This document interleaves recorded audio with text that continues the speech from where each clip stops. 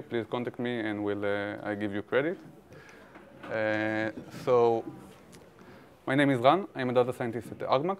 We provide NLP and recommendation solutions.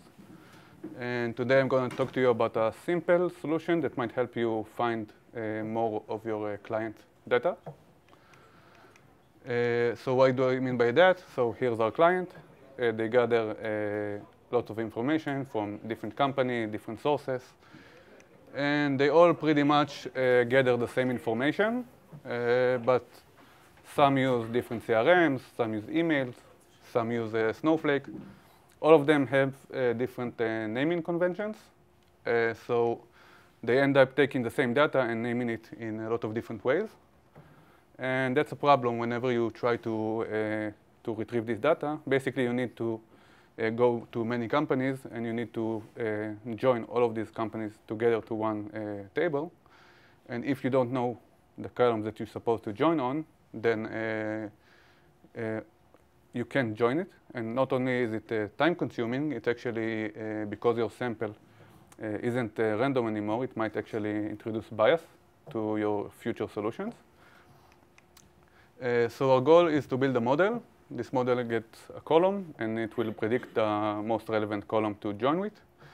Uh, also, uh, because our customer has many uh, companies, the model should be able to adjust whenever we get a new company to join the mix. Also, one of the key, one of the reasons why they came to us with the project, because it took them a lot of time to join the data together. So this uh, solution needs to be uh, in real time. Uh, so uh, our customer have a lot of data, but basically what I'm uh, using is only the column names. So if you think about it in terms of NLP, column names aren't exactly sentences. They don't have the internal structure.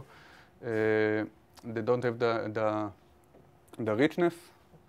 Uh, so what I'm left with is really not a lot of uh, data to work with. So uh, the first thing I did, I took the logs and whenever I find a join, obviously there's a connection between the two columns. Uh, but what if there's no join? It doesn't mean that there's no information. Uh, they just might didn't know they can do it.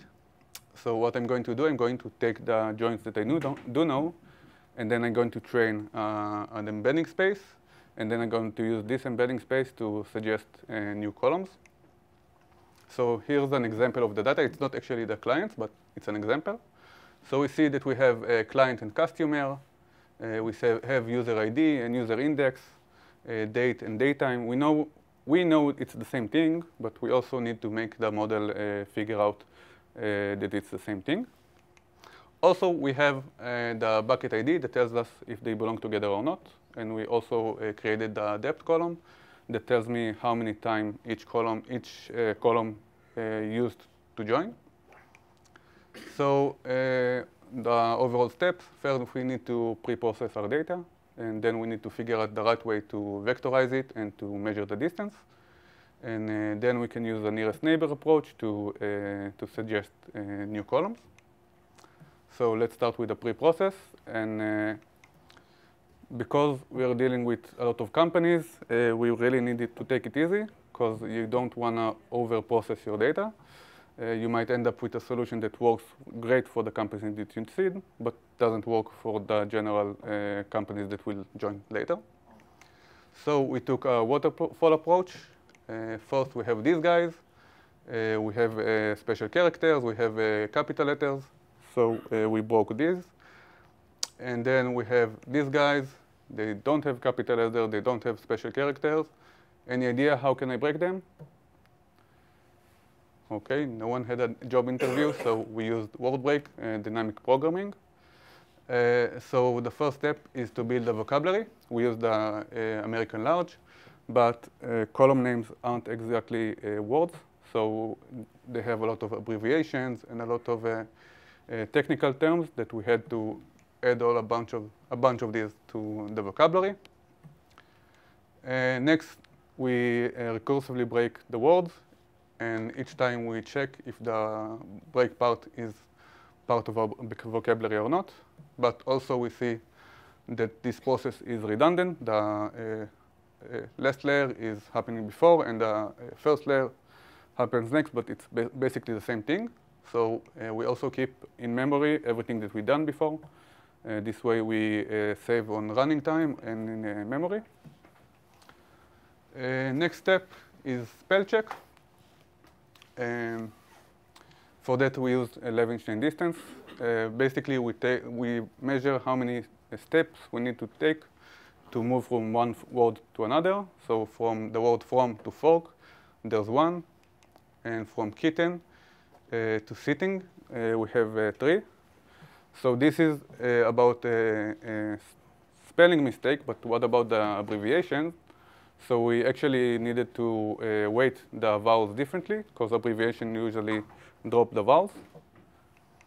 Uh, next, uh, we had to use the data augmentations. Here's another example. We can see here the bucket IDs, but uh, and we have all the different columns that were joined together we see that it's not very rich, and we have to use some sort of augmentation. Uh, so first, we use synonyms. Uh, we added random synonyms into our uh, sentences. Next, we used abbrevi abbreviations. Uh, we took a dictionary of abbreviation, and we also uh, created random ones uh, by dropping the vowels. Next, we had to create misspelled words for our spell checker. Uh, now we need to vectorize it. So the first step was uh, TF-IDF, and it didn't work, work, very well. Then we tried uh, Word2Vec. Uh, actually, uh, at first we used uh, already made uh, Word2Vec. A funny thing, the spaCy Word2Vec, the small one, doesn't actually give you a word vector. It just gives you random numbers. So when we fixed it to the big number for the 300, it worked. Uh, and then when, when we got uh, more data, we were able to train uh, word vector to new Word2Vec. Uh, and also we use the depth uh, feature to add uh, weights by the importance of the feature. in terms of distance metrics, so why won't we use the Levenshtein distance?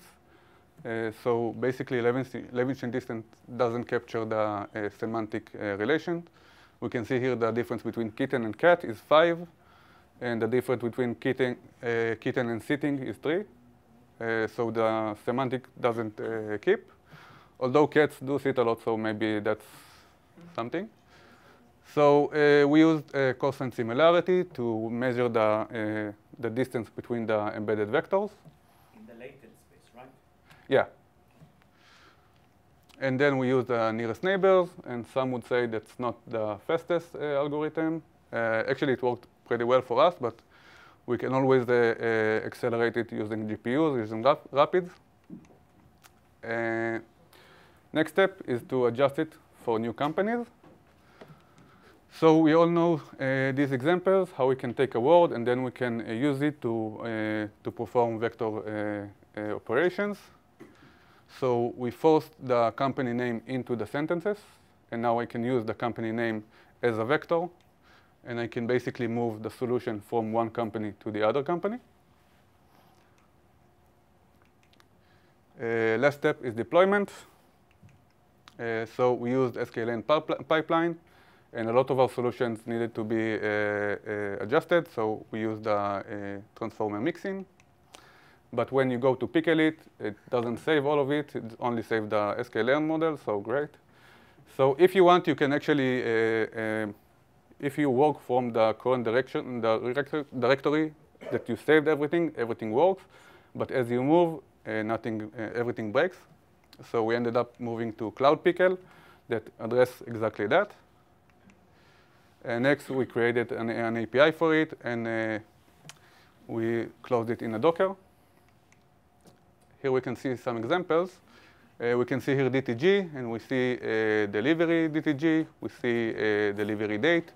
We see year and month. We can also see a customer ID, a contact ID. Here we can see uh, estimated profit. So we say we see estimated mar margin, estimated revenue, total, uh, total profit.